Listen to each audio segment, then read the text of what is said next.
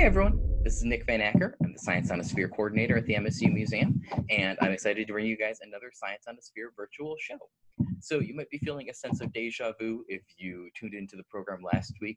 Uh, last week's program was, was about fossils, and this week's program is as well. This is going to be kind of a fossils part two. So if you didn't tune into last week's program, uh, we covered the history of the Earth. We looked at a data set called PaleoMap, that covered 750 million years of the Earth's history. We also talked about some different ways that fossils can form. And so this week, we're going to look at that same data set, that same PaleoMap data set, but we'll be looking specifically at Michigan, and then we'll be looking at some Michigan fossils that you're able to find in Michigan. Uh, so it should be a pretty cool program if you're interested in fossil life here in our Great Lakes state. If you haven't ever tuned into a program with us before, you might not know that you can actually follow along with us at home, and you can do that using the Science on a Sphere website. Um, so the Science on a Sphere website is sos.noaa.gov slash datasets, and I pulled it up right behind me here. Um, so if you go to this website and then you go to the land tab, which is the brown box with the mountain in it, um, you can scroll down to the paleo PaleoMap dataset. Um, and that's going to be looking at how the continents have moved and shifted over the last 750 million years. And it's going to look something like this. You can see this looks like a pretty typical drawing of the Earth, but when you watch the data set, you'll see that the continents all move and shift throughout history. And uh, the main thing you can get from this really is that nothing in the history of the Earth is constant. Uh, rocks are constantly going to be moving around and shifting and changing, and in fact, there's constantly going to be new layers of rock that have been added to the surface of the Earth over the history of the Earth. So looking at how all the continents have moved is one way to study the history of the Earth, but there are actually a couple of other ways as well. And one of those ways is going to be looking at the layers themselves. So I have a diagram right here next to me that shows all the layers of the surface of the Earth. So this is all of the rocks that you might see that were laid down over the history of the Earth. You can see they start out 4.6 billion years ago when the Earth forms and were laid down layer and by layer by layer over millions and millions of years until eventually we get to the rocks that are being laid down currently in the present, all the way up in the Holocene up there. So this is another great way to look at the history of the Earth, and this is usually the way that paleontologists do look at it. Um, they look at things in terms of layers.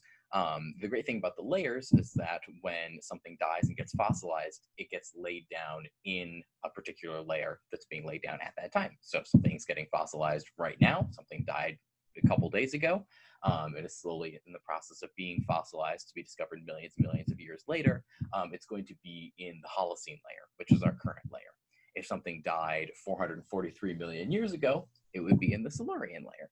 So these layers are a really great way for paleontologists to know what was alive when in Earth's history. And of course, like we covered last week, not all of these layers are always going to be present everywhere on the Earth all at once. So we can look at a map of Michigan and see that only some of these layers are available in Michigan. These all are the layers that are on the surface, um, and they're available on the surface by being weathered away by things. Um, when the glaciers came through, they scraped a lot of stuff up.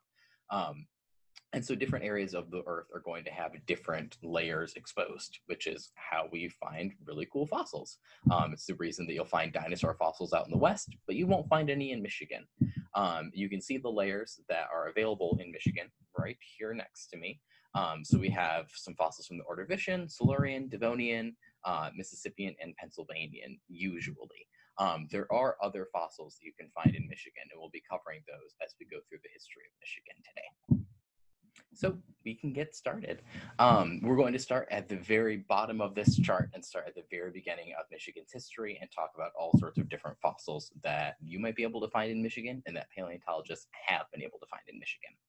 Um, and so we're going to be using the PaleoMap dataset to do this. So we'll start at the very beginning of time for the Earth, but at the very end of the dataset, um, which is going to be the Archean period or what we might call Precambrian. Um, so for the PaleoMap data set, that's going to be 750 million years ago, um, but it's basically anything before the Cambrian period started 542 million years ago. So before um, the Cambrian period, basically all the life on Earth was single-celled. Um, that doesn't mean that it was boring. There's lots of cool stuff going on in that period when life first started. But in terms of having big, gigantic creatures, usually animals and plants and anything that would have existed at that time, um, not that animals and plants did exist at that time, um, were all single-celled organisms. Um, if you want to learn more about single-celled organisms, we actually did a program all about microorganisms a couple weeks ago. But so the life that lived in ancient Michigan at that time, which as you can see was basically just covered in water, um, is going to be algae. And so I have an example of fossilized algae right here. And this is actually found in the Upper Peninsula. Um, the Upper Peninsula has some of the oldest rocks that we're able to find. It's got some Precambrian rocks that have some of the oldest fossilized life. Um, so this is uh, fossilized algae that was found in the Upper Peninsula of Michigan. So I'm going to add that to my map or to my to my diagram right here, and I'm going to add that to the Archean Proterozoic period because that's when fossilized algae first would have been around. Now, once the this period was over and we get into the Cambrian, things really start shooting off. Um, so once we get into the Cambrian period, there was something that was called the Cambrian explosion. Um, and the Cambrian explosion basically just meant that there was an explosion of all sorts of really cool life that started to appear in the fossil record and started to appear in the Earth's history. Um, so when we look at the Cambrian period in the PaleoMap dataset, you'll see we've got Michigan right over here. Um, it's still covered in water. And this is going to be a really common theme for Michigan for a lot of its history, um, is that Michigan actually used to be kind of an warm ocean sea um, for a lot of its history. And we'll get into some of the cool stuff that we can find because of that um, in just a second. So with Michigan being, you know, such a warm, open inland sea, um, we had all sorts of cool life that started to appear, and it was kind of like an ancient coral reef. Um, so some of those things were brachiopods, um, which are kind of like clams. They're they're similar in shape to them. They have shells. Um, there were cephalopods, which are things like octopus and squid. There are gastropods, which are basically snails, and there were trilobites. Um, I'll talk a little bit about each of those in turn. So we'll talk about brachiopods first. Um, I have an example of a brachiopod right here. Um, and you might have seen these fossilized before. They're pretty common fossils you might be able to find. And like I said, they look kind of like a clam. They've got this shell on them, um, but they're not clams. They're related to them, but they're not quite. Um, one cool thing about brachiopods, they appeared during the Cambrian explosion, which was 500 million years ago. But brachiopods are actually still around today. You can still see them in modern oceans. Um, they've changed a little bit, but not much. You can see that this image is um, a picture of a modern brachiopod. Um, so brachiopods are still around today. You could still see them if you went snorkeling or if you went looking for them, um, which is pretty cool. Um, another thing that was around in the ancient ocean were cephalopods. Um, so those are things like octopus and squid. Um, these octopus and squid you would recognize as cephalopods, but they looked a little bit different. You can see um, in this picture here that these cephalopods had shells. Um, they have these really long, straight shells um, that you don't usually see on, on cephalopods nowadays. The only thing that might have a shell, the only cephalopod that does have a shell right now on the outside is a nautilus. Um, so these cephalopods you would have recognized, but they would have looked a little bit different. One thing that you definitely would have recognized from this period, though, are the gastropods or the snails. Um, so these are ocean snails. They might look a little bit different than our land snails, like I have pictured right here. But you can recognize if you look at this shell, this is a snail shell. Uh, snails have looked pretty similar for a very long time. Um, this is a fossilized snail shell. Um, one cool thing about snails that you might not actually know is that snails can be left or right-handed. Um, so their shells are going to twist one way or the other. Um, both shells that I have right here twist to the left, um, but there are some snails that will uh, twist to the right as well. Um, so it's kind of a cool, fun thing if you're looking at snail shells. So we had gastropods as well, but one of the main things to appear during the Cambrian explosion, and one of the coolest things, in my opinion, to appear during the Cambrian explosion, were trilobites. Um, trilobites you might have heard of before. Trilobite uh, means three bits or three lobes. Um, and basically that just means because their body had three segments. Um, they might look like bugs, but they're not bugs. They're uh, related to things like lobsters and crabs, but they're closest related to actually the horseshoe crab. Um, trilobites aren't around anymore, of course, but horseshoe crabs still are. Um, and you can see this horseshoe crab actually looks kind of similar to a trilobite. Um, you might not think it looks much like the picture there, but if I look up or hold up a fossil of a trilobite, you can see they're pretty similar looking. Um, trilobites were super diverse. They wouldn't always be this gigantic size. This is one cool trilobite fossil that I have. Um, a lot of them that you'll find in Michigan are going to be a lot smaller, um, or tend to be a lot smaller. So I have a smaller trilobite fossil right here that is similar to one that you should be able to find in Michigan. So I'm going to lay down that trilobite fossil right there. And one of the other reasons that trilobites were so cool um, is because they had a lot of interesting adaptations that other things didn't have. Um, so we talked about in the history of the Earth, uh, life used to be kind of single-celled and simple. Um, but in this period, you can see things are starting to develop shells. Um, brachiopods have shells, cephalopods have shells, snails have shells, and the trilobites have shells too. Uh, and the reason for this is because things are starting to come along that have teeth that are interested in eating all little soft-bodied critters that are existing. Um, and so it's really important for these animals to start developing shells and start developing some really cool, uh, some really cool adaptations to survive in their environment.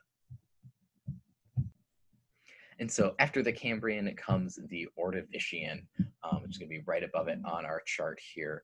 Uh, the Ordovician had a lot of really similar life.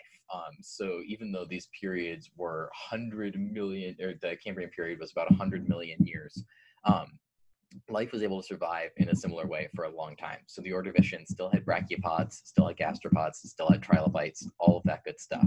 But the Ordovician did have uh, one other thing that appeared, um, which is a pretty cool creature. That's going to be a crinoid. Um, so I have a crinoid stem right here, and you'll see crinoid stems fossilized a lot in Michigan. Um, they're pretty simple looking fossils, just kind of these straight tubes that are covered in lines. Um, and crinoids are super interesting. They're also called sea lilies. And as you can see by this picture, crinoids are actually still around today too. Um, they were able to survive for a very, very long time throughout the Earth's history. Um, the crinoids are super interesting. You look at them and you might think that it looks kind of like an underwater plant, but this is actually an animal. They're related to jellyfish. Um, and you can see they have kind of a long stalk, and at the end is this huge mass of tentacles. They're all waving in the water. Um, and crinoids are super cool that they are able to kind of exist like this. They look like underwater flowers, but they're actually a type of animal. So I'll put our crinoid stem right here in the Ordovician. We can move on to our next period, which is the Silurian. So the Silurian, again, has a lot of the same stuff that the other periods had. Um, you can see it right here. Michigan is still underwater in this period. It's a pretty shallow, warm sea, so this is starting to get more and more like a tropical coral reef that might actually be pretty fun to snorkel in. Um, it's got all sorts of cool life, and again, this period had something new that appeared, and that new thing were corals. So the main type of coral that appeared during this period is going to be a horn coral, which I have right here. Um, and you can also see them in the images behind me. Now, horn corals, unfortunately, aren't around anymore. Horn corals went extinct. Um, you can see the horn corals are really cool. They have this base that often gets fossilized, and then on top of them, they also had all sorts of really cool tentacles that would be kind of undulating, kind of like our crinoids or our sea lilies. Um, so horn corals are super interesting, but unfortunately not around anymore. So we can put our horn coral there in the Silurian. Um, we can move on to our next period. So the next period after the Silurian is going to be the Devonian. Now, the Devonian, again, you can see in Michigan, still covered in water, but the Devonian was a really cool age for a lot of different things. Um, so again, the Devonian still had brachiopods. So we can put a brachiopod down there. The Devonian still had crinoids. So we can put our crinoids down there. Um, they still had all sorts of different stuff that you're familiar with seeing.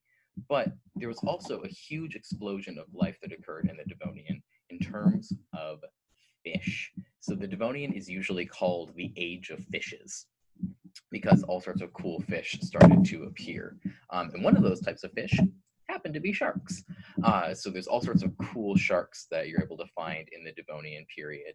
Um, and I have a little fossilized shark tooth right here that we can put down in the Devonian period because the Devonian was the age of fish. And of course, I would be completely remiss not to mention that uh, the Devonian period and um, a little bit of the, the Silurian period before it was also the age of one of Michigan's most famous fossils, which is the Petoskey stone. So Petoskey stones, um, you might not actually know unless you're in the know.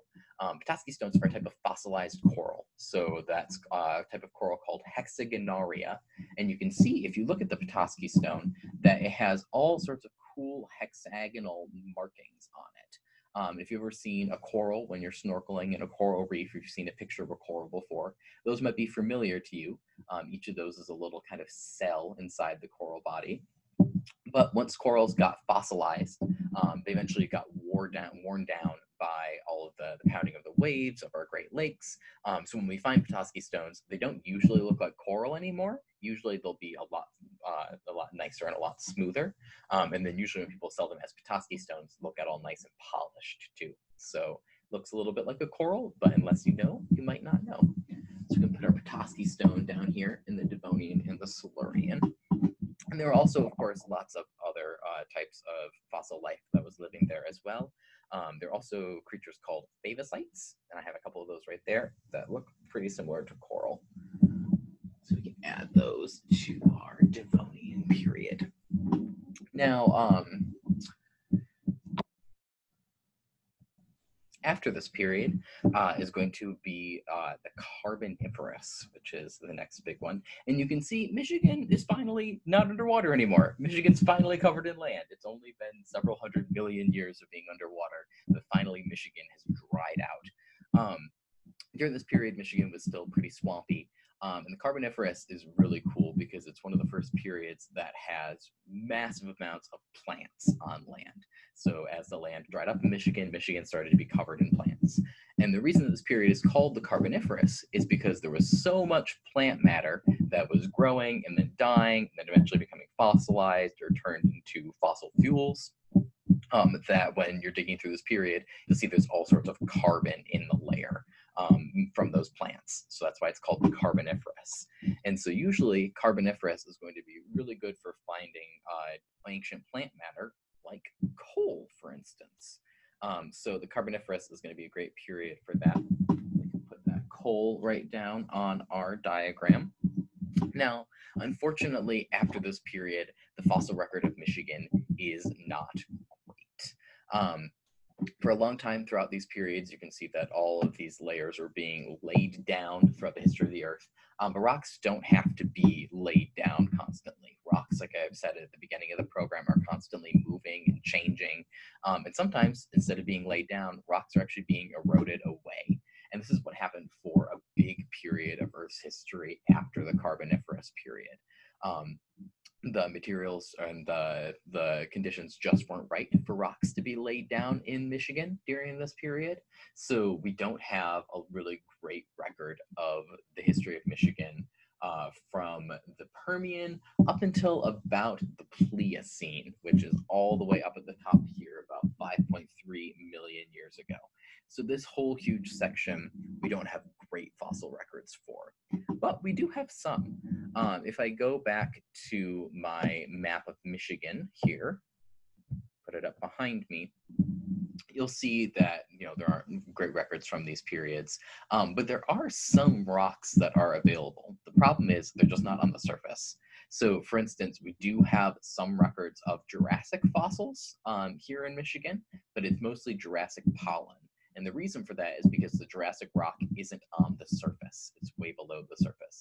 So if we're looking for fossils, you have to drill down really far in order to get to them. Um, so we can know some stuff about what the history of Michigan was like during that period, but we don't have a lot of great information. Now, this unfortunately means, as you might have jumped ahead of me and realize, um, unfortunately means that we don't have any records of dinosaurs in Michigan. We do not have any dinosaur fossils that we've ever found in Michigan. Now, we know that Michigan was mostly land during this time, so we can assume that dinosaurs probably lived here during the Triassic, Jurassic, and Cretaceous periods. Um, those are the periods that dinosaurs were alive.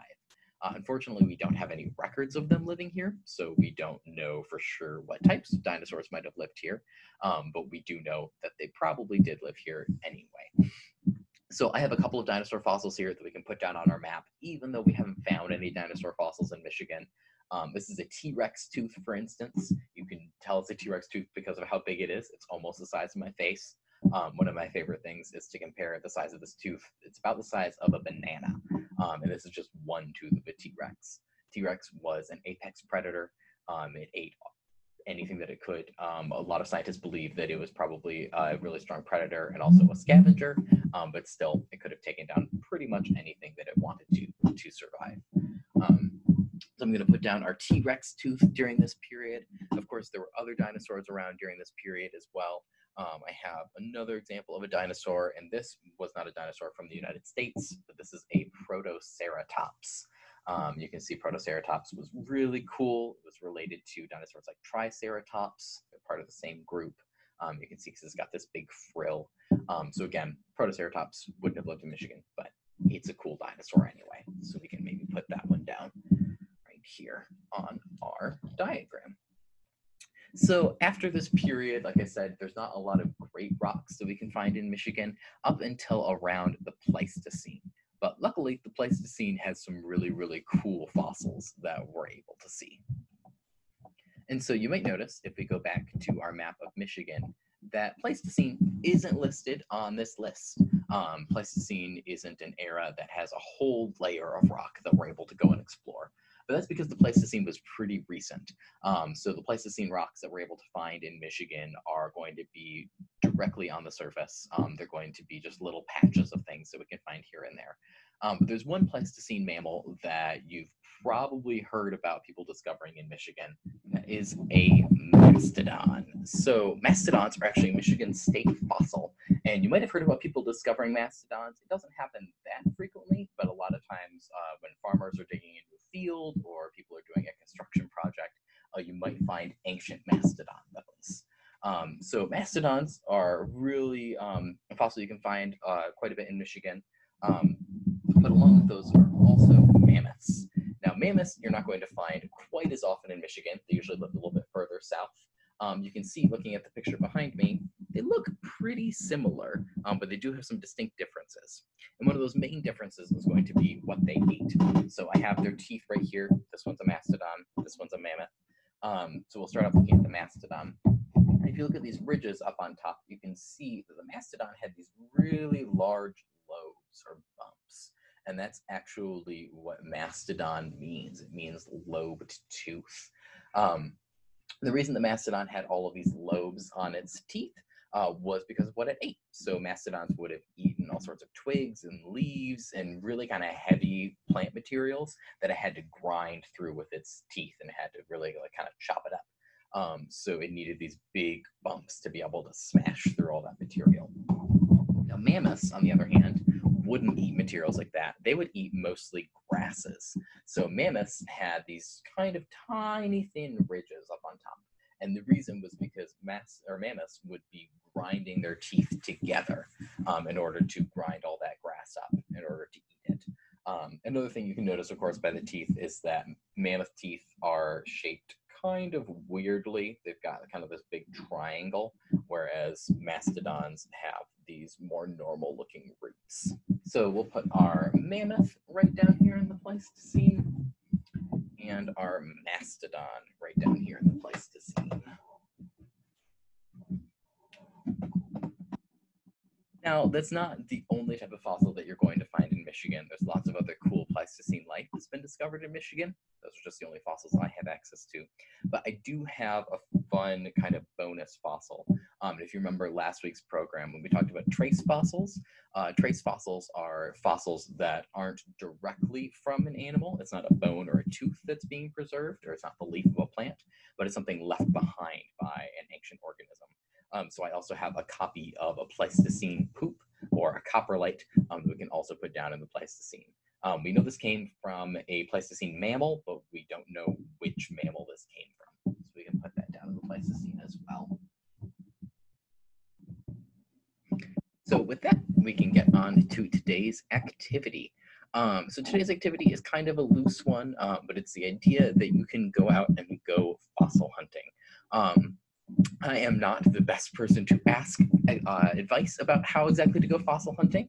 Um, there's lots of great resources available online and in books, um, specifically for fossil hunting in Michigan.